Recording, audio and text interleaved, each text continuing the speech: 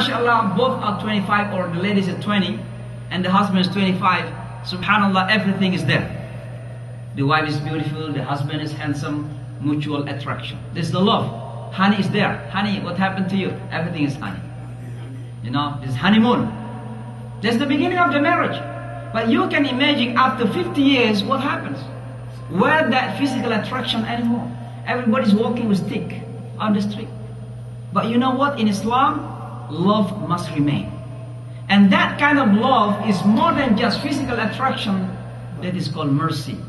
And that's why Rasulullah wasallam is called rahmatan lil alamin. His mercy to all humanity. Why? Because his love, his compassion, his kindness to the people is not because of any reason. Rasulullah loved us not because we give him money. Rasulullah loved us not because we say Allahumma salli wa sallim ala Muhammad sallallahu No. He doesn't need anything from us. Simply because Rasulullah had that nature to love every creation of Allah subhanahu wa ta'ala. You can imagine how Rasulullah was so sad when someone burned a house of ants. How you call that? There's an ant, right? There's a house. And there's a fire. So he said, who burned this? For no reason. People are just playing with that. And there's nobody answering. And he said, the one who did this must be responsible in the day of judgment. That these ants being killed, being burned without any reason. They didn't bother you? What's the reason to, to burn them? You can imagine how Rasulullah was so upset to the woman who let the cat die starvingly.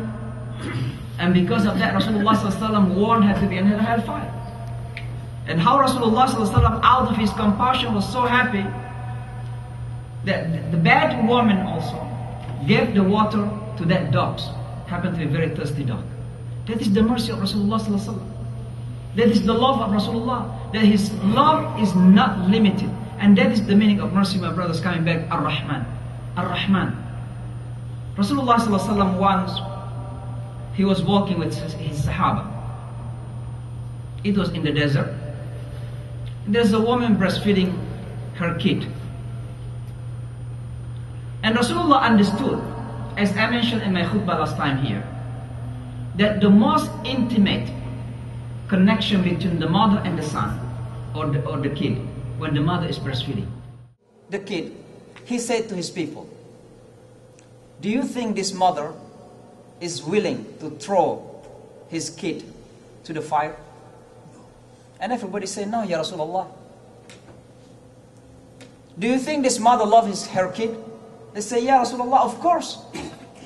And Rasulullah said, Allah subhanahu wa ta'ala even more loving and merciful to his servant than this mother to her kid. Someone who is committing mistakes, the mercy of Allah, we are still talking about Ar-Rahman. Committing mistake for the whole life. One day Rasulullah gave another illustration.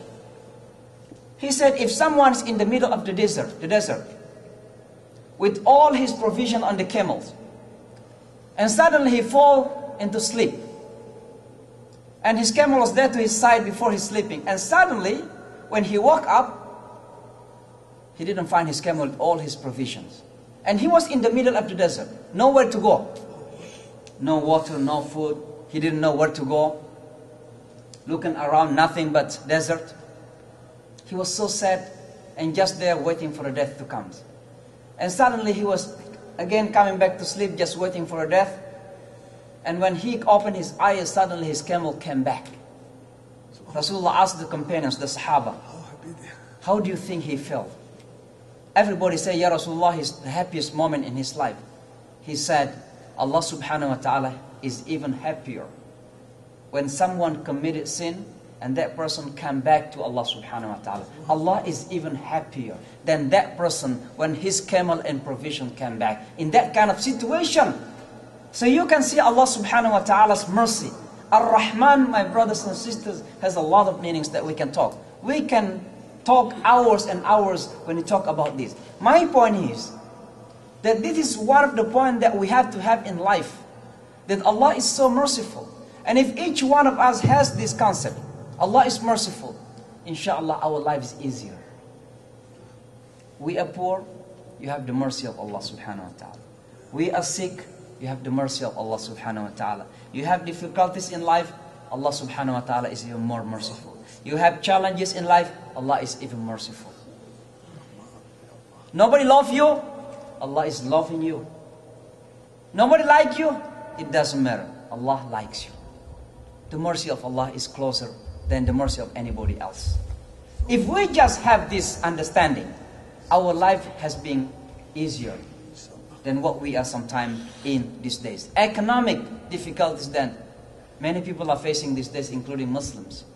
If we just have the mercy of Allah subhanahu wa ta'ala, the concept of Ar-Rahman, it will be easier for us to face those difficulties. So my brothers and sisters, this is one of the essentialities that we have in life. We have to have in life.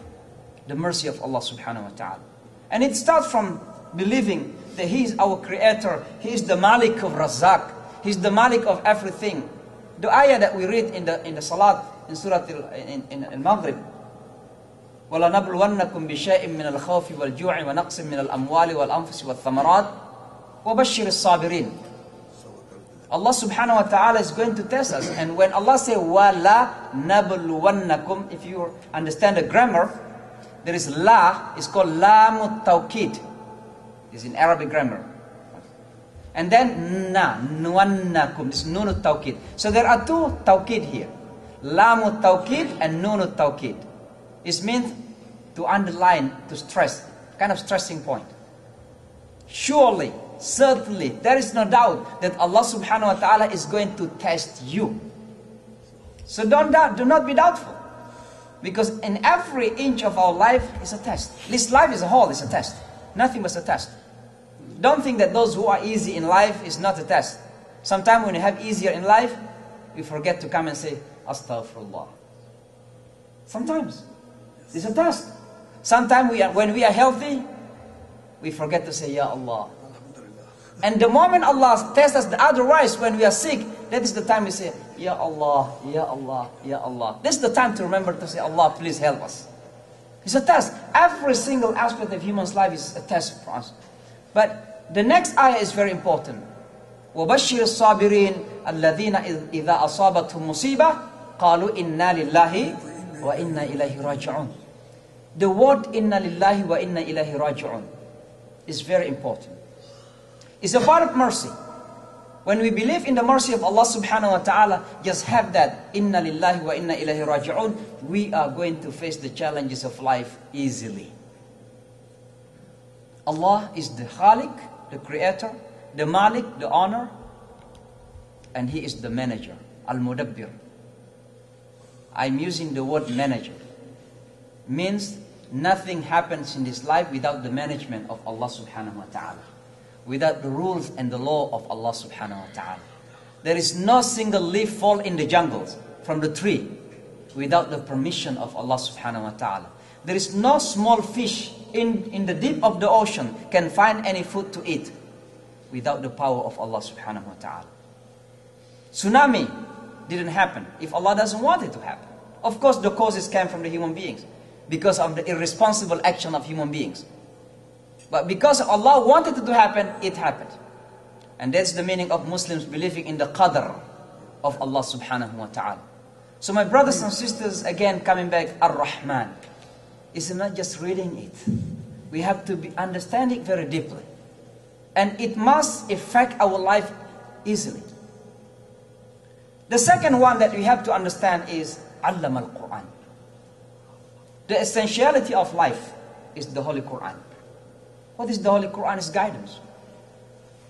Because without the Holy Quran, we are confused. Without the Holy Quran, we are in darkness. Even Rasulullah sallallahu alaihi wasallam was reminded by Allah subhanahu wa ta'ala in Surah Al-Duha.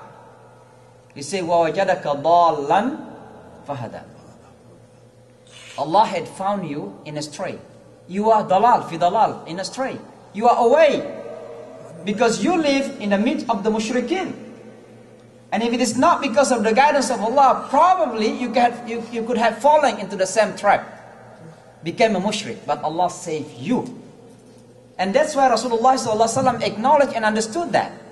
Later on, when he became a prophet and became the most obedient to Allah subhanahu wa ta'ala, he woke up at night. His wife asked him, Say, Ya Rasulullah, why you have to do this?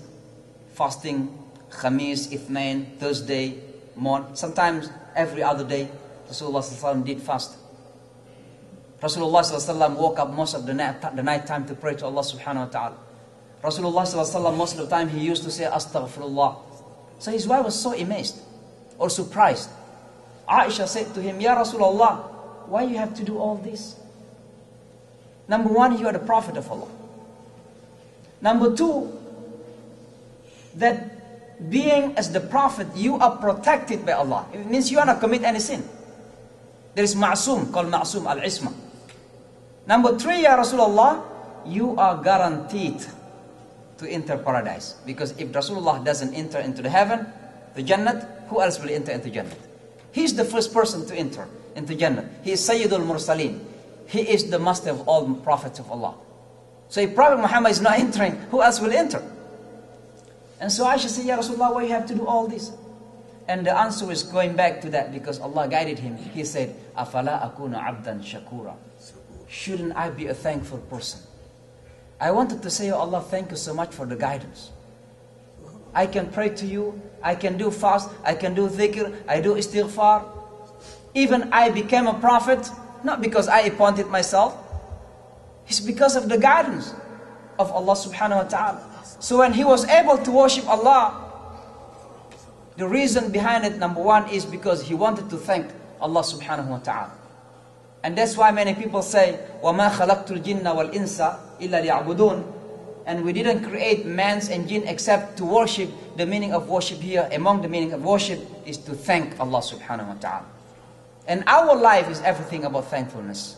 From morning to night, night to morning, Muslims must know how to say thank you Allah.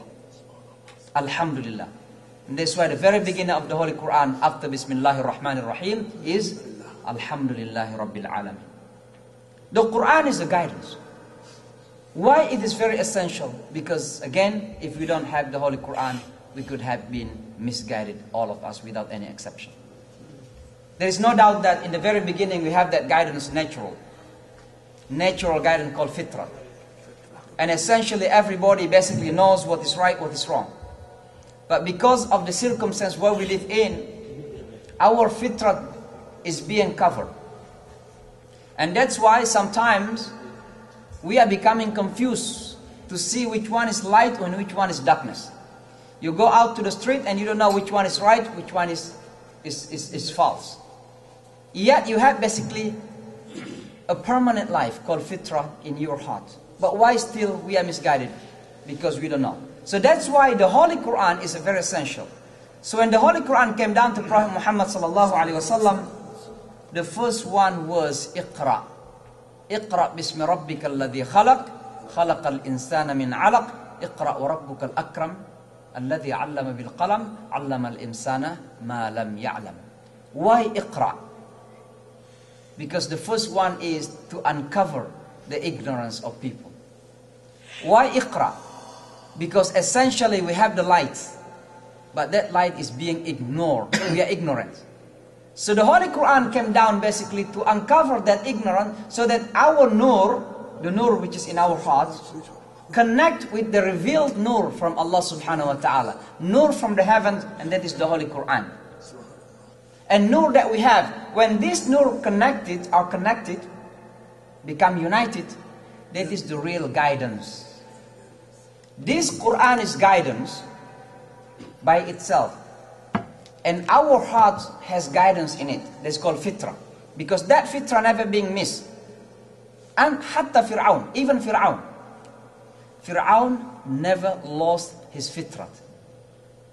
When he died, when he was in the middle of the sea, under the ocean,